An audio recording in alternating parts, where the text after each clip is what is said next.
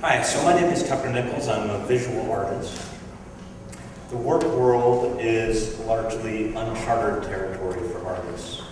And um, as much as I like to show my work in galleries and be a part of the art world, I really enjoy, enjoy doing projects in corporate environments as well. These first few slides are from some recent um, commissions that I've done uh, private, for private companies. This is for uh, the studios of Yves Béhar's Fuse project. And this is for the offices at Aliph, uh, the company that makes the Jawbone Bluetooth headset. And basically the way these commissions work is I go in for a month or two and sort of fake work at the company. I sit in on important meetings and interview employees and linger in the break room and pick through their Xerox bin and sort of try to find various little bits that uh, speak to me about what they do and, what it really is that they do. And then I use these bits uh, to create wall drawings and mural forms that sort of look like brainstorming sessions gone horribly wrong. the, um, one of the things that happens in these, which I find is quite amazing, is that it's through this tool, this very unscientific tool of art, that I've been able to get at some questions that um, really get at the core of what people are doing and why they work there. And I've just been amazed. You know, the corporate world is, the offices are a place where most of us spend most of our time, and yet it's largely unexamined from an artist's point of view. And I've been finding that that tool is really an interesting one for drawing out conversations that people wouldn't have otherwise. This is also from Alan. So um, the project that I really want to talk to you about today is, a, is a, another business-related art project called Anonymous Postcard.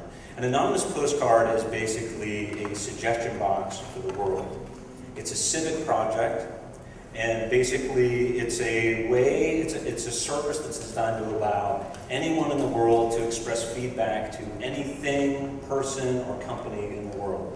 So basically, people will submit a claim onto the website at anonymouspostcard.org. I sift through the claims, and when I find a claim that uh, resonates with me, that I think has some sort of civic merit to it, then I take on the case. I make a postcard that vaguely, you know, represents what the claim is about, and then I figure out the single best person in the world to field this claim and send it to them as a postcard. And then I document all that on a website so that the claimant, the recipient, and the public who have started to watch this whole thing can all share in it. And as it turns out, people have a lot of feedback about a lot of different things.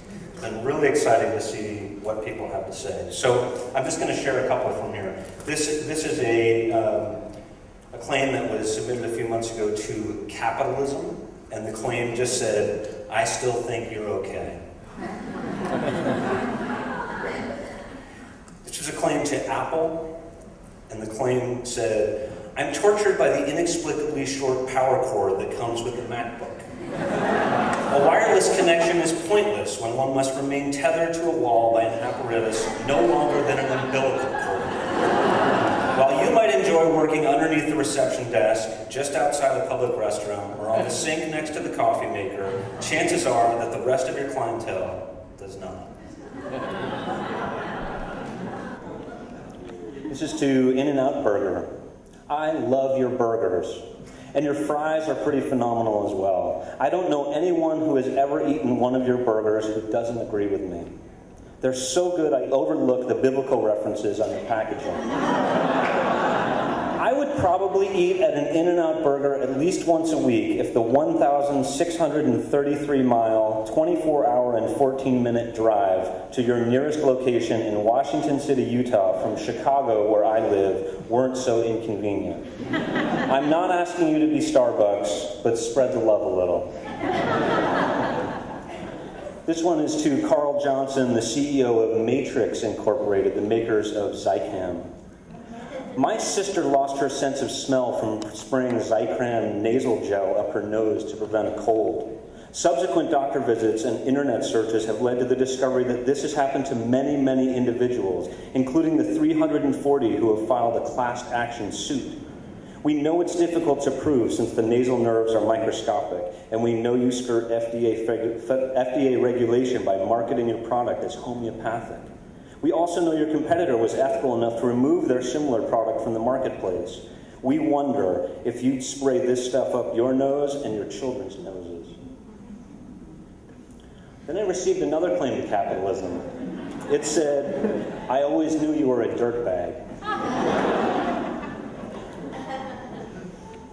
this one is to SpaghettiOs.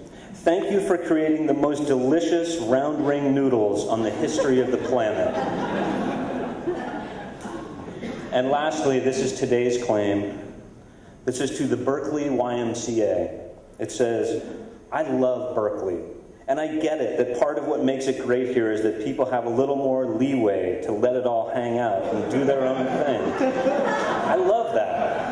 And, I also love the Berkeley YMCA. You guys are the best.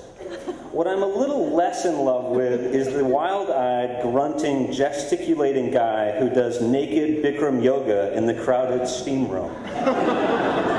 Thank you very much.